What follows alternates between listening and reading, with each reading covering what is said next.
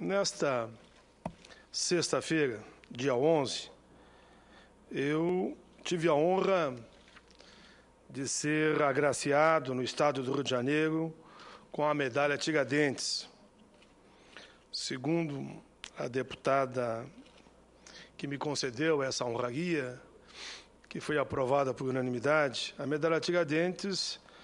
é a honra maior que aquela casa concede aos homens públicos eu quero dizer que recebi com alegria, não por uma vaidade pessoal, mas pelo motivo de ter recebido aquela medalha. Foi pela luta que nós travamos aqui no Congresso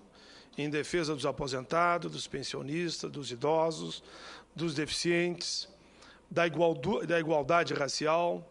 da livre orientação sexual, religiosa, enfim, de todos aqueles que são de uma forma ou outra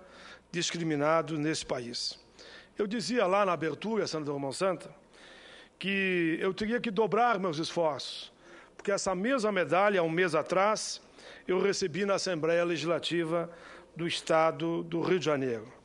Então, eu só posso agradecer tanto a deputada estadual Inês Pandeló, que foi encaminhou o pedido para que eu recebesse essa homenagem, como também a todos os deputados do Rio de Janeiro e como também ao povo do Rio de Janeiro.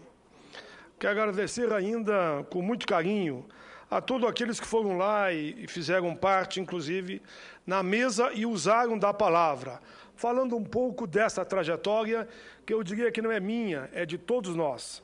Agradeço à presidente da Associação dos Aposentados e Pensionistas do Rio de Janeiro, senhora Ieda Gaspar, que fez um